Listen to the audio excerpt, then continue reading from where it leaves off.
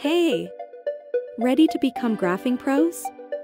Today, we'll learn how to create and interpret graphs that show how kinetic energy depends on mass and speed. Grab your data, and let's turn numbers into powerful visual stories. We're tackling a big question, how do mass and speed affect kinetic energy? By the end of this tutorial, you'll graph your data to uncover patterns. Some are straight lines, and others curve dramatically. Here are the key terms. Linear trends. A straight line pattern, like mass versus kinetic energy. Exponential trends. A steep curve, like speed versus kinetic energy. Graphs help us see these relationships clearly, and they're a superpower for any scientist. Graphs aren't just for math class. They help us design safer cars, plan roller coasters, and even predict sports performance. Let's practice graphing like the pros who solve real-world problems every day. Let's start simple. Plot mass on the x-axis and kinetic energy on the y-axis. Mass. 1, 2, 3 kilograms. Energy. 5, 10, 15 units.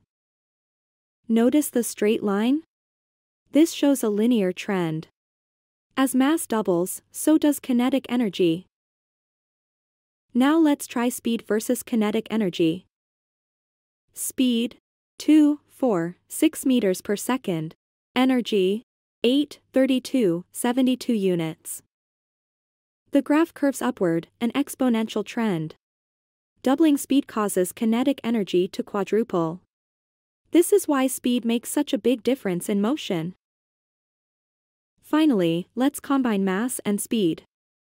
Imagine a 2 kg ball at 3 meters per second versus a 4 kg ball at 6 meters per second. Energy for 2 kg. 18 units. Energy for 4 kg. 144 units. This graph shows both linear and exponential trends. Engineers use similar graphs to design safer highways and faster roller coasters. Here's what you've learned. Graphs reveal energy patterns clearly. Mass causes linear increases in energy. Speed causes exponential increases in energy. Use these graphing skills to tackle your next experiment or even analyze energy in your favorite sports. Remember, graphs tell stories. What story will your data reveal? See you next time.